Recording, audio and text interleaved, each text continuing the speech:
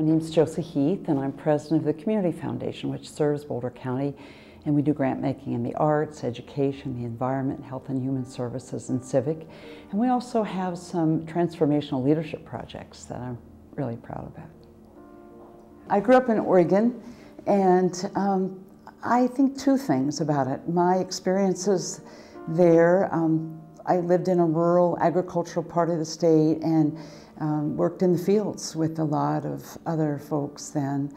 And I remember seeing migrant workers who did not finish the day when I did and slept in their cars beside the fields. And I get teary thinking about it, but it made a huge impact on me on how unjust it was they had no place to sleep, no place to live.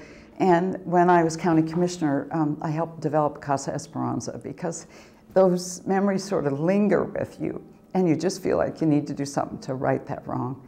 But um, you know, my uh, mom said that you know when I was in Bluebirds, I was like in third grade, and, and you know I was elected the president of the Bluebird group. I just seemed to want to help everybody get things organized and get things done.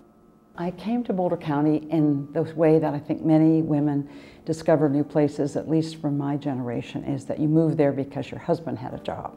That time we had two small children. We now have three children, and uh, I loved being their mom, loved doing all those things, but I also needed to engage and to be involved with the community was a wonderful kind of a mental health thing for me and, and a way to express uh, some uh, energy around things I really cared about. A key moment for me was being in the balcony of the United States Senate, looking down at this sea of suits, male suits, and because at that time there were only two women in the United States Senate. And I thought to myself, where are the mothers who are helping make a decision for all these things that we care about for our sons and our daughters? And it was a very profound moment for me because I was running for the United States Senate and I had lived in a place like Boulder County where a lot of women were involved.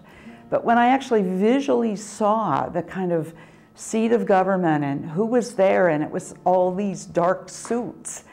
And I looked down and I thought, where are our voices?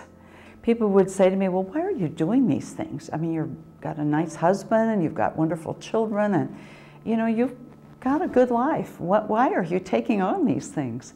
And I realized that for me to be engaged, um, it, it's almost like new love. There's a chemistry that happens when you're excited and engaged in something that's just and, and you feel like you could really work on to help make a difference.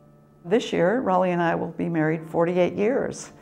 And, um, and we've come through many different times in our personal lives where this juggling act was really challenging. And, um, but the kind of headline is it, you can make it work.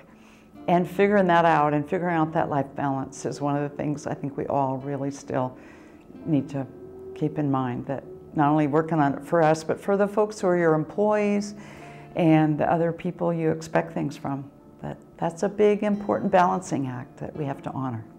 You know, I love um, Katharine Graham's quote when she says, to love what you do and feel like it matters. How could anything be more fun?